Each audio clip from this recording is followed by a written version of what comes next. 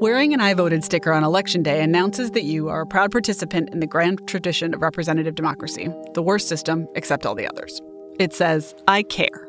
When Americans are dropping their ballots in mailboxes, standing in line, pushing buttons, pulling levers, filling bubbles, or poking a touchscreen, there are three little words that provide a surefire way to start a fight I don't vote. The reasons people give for why they vote and why everyone else should too are flawed, unconvincing, and occasionally dangerous. The case for voting relies on factual errors, misunderstandings about the duties of citizenship, and overinflated perceptions of self worth. There are some good reasons for some people to vote some of the time, but there are a lot more bad reasons to vote, and the bad ones are more popular. Your vote is wildly unlikely to determine the outcome of an election. It's pure math. In all of American history, a presidential election has never come down to a single vote. The chance of that happening is just 1 in 60 million. In a couple of key states, the probability that a random vote will be decisive creeps closer to 1 in 10 million, which is still like gunning for the mega lotto jackpot. In the 20th century, just one congressional race was determined by a single vote in Buffalo, New York, in 1910. So are people who vote irrational, evil, or stupid? Not necessarily. At least not all of those things. The next time a friend of yours tells you he's not voting, don't try to change his mind, Harvard economist Gregory Mankiw wrote a few years ago in a column that was originally slated for Forbes but that his editors refused to publish. Mankiw's argument drew on the work of economists Timothy Feddersen and Wolfgang Pesendorfer, who cited the phenomenon of roll off, or people who make it all the way inside the polyester curtains on election day but then leave some ballot sections blank. They were illustrating the point that people who believe themselves ill informed routinely choose not to vote. This increases the quality of voters who actually pull the lever for one side or the other. Older, better educated people are much more likely to vote, which also suggests that the pool of voters is better informed and more qualified to make election related judgments than the pool of non voters. If it's true that education makes people better voters, Mankiw writes, it would make sense for the less educated to show up at the polls less often. But people aren't particularly good at knowing whether or not they're well informed. Many people who closely follow politics hold views that are dangerous and wrong, and no one knows what a politician will do after arriving in Washington. The gap between the promised and real consequences of electing one guy over the other is very difficult to anticipate. Rock the vote. There's a case to be made that many people have a civic duty not to vote. Boosting turnout among citizens who are young, uneducated, or otherwise less likely to be engaged has the unintended consequence of encouraging people to fail in that duty. It's true, even though no particular vote is likely to be decisive. None of this is to suggest that the government should in any way use legal means to limit the people who can vote. Voting is a fundamental right and should never be abridged. This is about an individual's moral choice about whether or not to vote. Jason Brennan conjures this terrifying thought experiment. Imagine you come across a firing squad about to kill an innocent child. Assume all the bullets will strike at the same time and there's nothing you can do to stop them. You are invited to be the 101st member of the squad. It's still immoral to shoot, Brennan argues, based on the principle that one should not participate in collectively harmful activities when the cost of refraining from such activities is low. If you believe your vote is likely to be ill informed, or that a particular race is likely to yield an unfair, unjust, or otherwise bad outcome, you should refrain from participating. Get out the vote campaigns promote precisely the kind of morally condemnable, ignorant voting we should be discouraging. This is the perspective that informs those don't vote, it only encourages the bastards bumper stickers.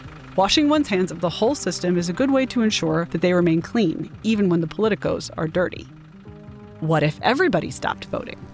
What if the arguments against voting were so persuasive that everyone stopped voting? This worry, which channels the categorical imperative of the 18th century German philosopher Immanuel Kant, posits that if everybody behaved as non voters do, the whole system would fall apart. A certain minimum level of participation is necessary for elections to appear legitimate. This objection is natural and intuitive, but the fact is that one person's decision not to vote, or even to make a video about not voting, is unlikely to substantially influence the tens of millions of people who already vote. If you like, you could say the rule is don't vote unless your vote is likely to substantially influence the outcome of the election. If someone found herself in an electorate with zero other voters, she could happily write in her own name, for instance, without violating the general anti voting principle. If someone invests in an enterprise, we generally recognize that he has more of a right than an outsider to determine the course of that enterprise. But sitting out an election is also an affirmative choice. As the English radical Herbert Spencer pointed out in 1851, if a voter picks a losing candidate, the argument goes that by taking part in such an election, he tacitly agreed to abide by the decision of the majority. But if he abstains, he cannot justly complain, seeing as he made no protest. Curiously enough, Spencer writes, it seems that he gave his consent in whatever way he acted, whether he said yes, whether he said no, or whether he remained neuter. A rather awkward doctrine, this. Indeed. Complaining is another way to make good on our civic duty to be engaged, if such a thing exists and it's mercifully unrelated to our duty to vote. It may be that people don't vote, though, because of what they think their vote can accomplish, but instead for what it says about who they are. Voting is the cheapest form of altruism. Since there's little in any way of material payoff, voting maximizes your halo rather than your bottom line. Voting sociotropically, philosopher Jason Brennan writes, is cheaper and easier than volunteering at a soup kitchen or giving money to Oxfam. A 2009 survey found that 88% of respondents, all of whom were academics, considered voting in public elections to be morally good. They considered voting to be on par with regularly donating blood and giving 10% of one's income to charity. The philosophers Lomasky and Brennan theorize that voting is best understood as an expressive act. Communicating preferences at the ballot box is something people do for its own sake, not a duty they perform or a selfish bid for material gain. Decked out in team colors, cheering as loudly as you can. The chance that your individual voice will sway the outcome of a game is vanishingly small but you are communicating to the other people at the game I am one of you. I value the system in which we each participate. I am loyal. The economist Bryan Caplan takes the idea a step further. Perhaps, he suggests, voting is more like cheering while watching the same game from your recliner in a darkened living room. If you really try, you can still tell an ultimately unsatisfying story about why your actions matter in the rest of the world. After all, your viewership of the game might show up in television ratings, which boost the team's advertising revenue.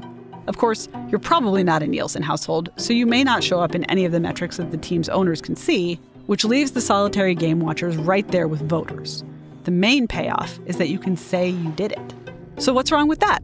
Individual cases of expressive voting in large elections are just as unlikely to affect the outcome of the election as other kinds of voting. But the fact of widespread expressive voting explains why elections are silly seasons. Politicians offer themselves up as opportunities for expressive voting, as aggregations of easily comprehensible slogans rather than as avatars of sensible policy.